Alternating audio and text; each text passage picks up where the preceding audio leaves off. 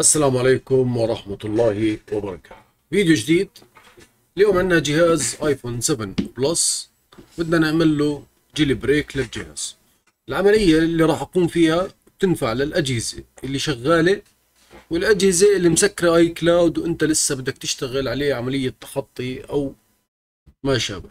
طبعا البرامج اللي أنا بشرحها واللي شارحها بالقناة ما فيها jailbreak للأجهزة اللي بن... يعني ما بنعمل عملية ال jailbreak نهائيا خلال العملية. ولكن في ناس سألتني على موضوع ال jailbreak للأجهزة. فراح نشرح كل الأجهزة بطريقة عمل ال jailbreak لها كل جهاز لوحده. أول شيء عندنا الأداة راح أترك لك إياها مجانية. ما أترك لك إياها موجودة بالوصف. تفتح الأداة بالشكل هذا. تفتح معك الأداة بالشكل الكامل واختارت لحالها آه، ال jailbreak. في عندك rootless وفي rootful فأنت بتختار حسب أنت اللي بدك إياه.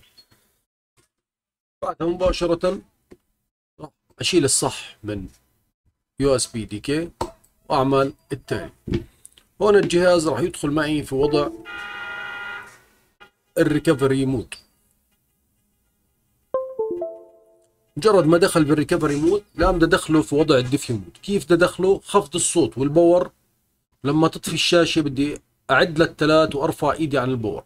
كل هاي العملية لازم أعملها بعد ما أعمل start بضغط خفض الصوت وبعمل start وبضغط ال power. بعد واحد اثنين ثلاث وبرفع إيدي عن ال power وأنا ضاغط خفض الصوت. دخل معي الجهاز في وضع jailbreak وبلش ياخذ العملية.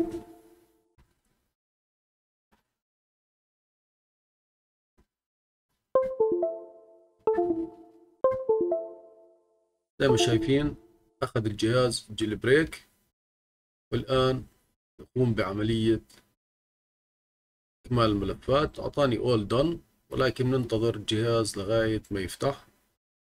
كيف بدي أعرف إنه الجهاز أخذ jailbreak بشكل صحيح؟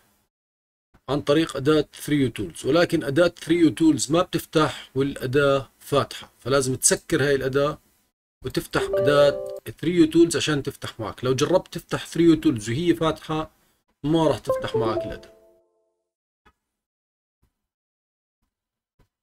هنا العملية ما تمت. ما إنها ما تمت فلازم أعيدها. راح تلاقي إنه نسبة عملية الجيل بريك عشان تعملها أغلب المرات من تاني محاولة. يعني من تاني محاولة لتنفع معك مش من أول محاولة. والآن نعمل التالي. مش بالضروري من تاني محاولة ولكن في أجهزة بتاخذ من تاني محاولة مش من أول محاولة. وأنا ثالثة ما صارت معي ولكن الثانية آه نضغط خفض الصوت نضغط start ونضغط ال power واحد اثنين ثلاث نرفع ايدنا عن ال power. ونضل ضاغطين على خفض الصوت لوحده.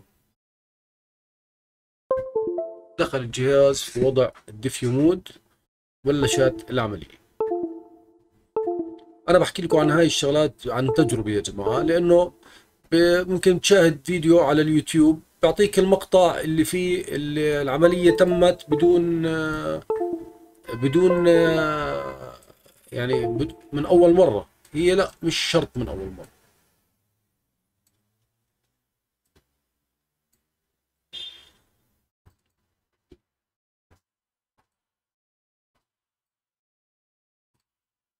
بعمل نشوف العملية. تمت نعمل done wait. نروح نفتح الأداة. زي ما شايفين الجهاز أخذ jailbreak بشكل كامل. يعني صار ال jailbreak جاهز عليه jailbreak yes. الجهاز فاتح بشكل طبيعي. هذا كان الفيديو اليوم. نراكم في الفيديو القادم. والسلام عليكم ورحمة الله وبركاته.